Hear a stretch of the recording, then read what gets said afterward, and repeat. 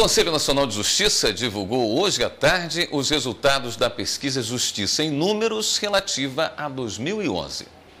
O relatório Justiça em Números é uma pesquisa que permite a avaliação dos tribunais em relação à quantidade de processos, questão financeira e o acesso à justiça.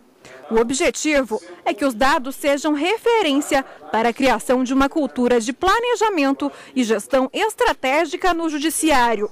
A edição deste ano do Justiça em Números traz uma nova metodologia que permite medir a eficiência de cada tribunal e compará-la com o desempenho dos demais. De acordo com o relatório, em 2011, o volume de processos em tramitação no Poder Judiciário brasileiro chegou a 90 milhões, sendo que desses, 63 milhões de processos já estavam pendentes desde o ano anterior e os outros 26 milhões ingressaram em 2011. Foram resolvidos aproximadamente 26 milhões de processos, quase a mesma quantidade dos que ingressaram. O volume de processos resolvidos aumentou 7,4% em relação ao ano anterior e foi o maior dos últimos três anos.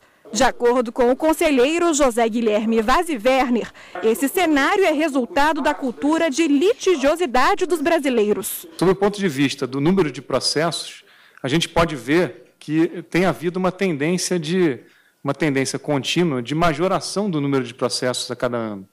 Né? Não só os processos em tramitação, mas os, os casos novos. Os casos novos têm apresentado uma majoração a cada ano.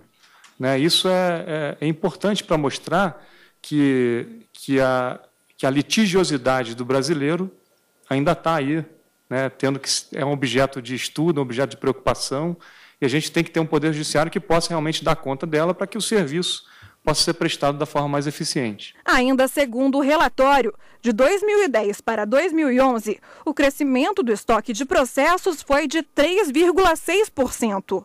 O crescimento do estoque decorre do aumento da demanda, medida pelo número de casos novos, que aumentou 8,8% em 2011. Ainda de acordo com o conselheiro, para tentar gerir esse número de processos, o CNJ tem incentivado a cultura da conciliação. O CNJ tem, historicamente, e continua fazendo isso, sempre incentivando a Semana Nacional da Conciliação.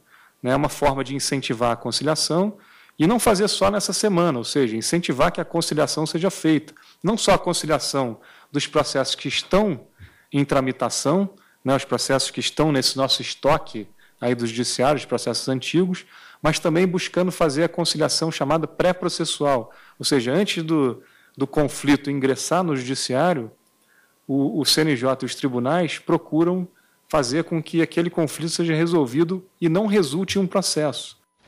E ainda nesta edição você vai saber mais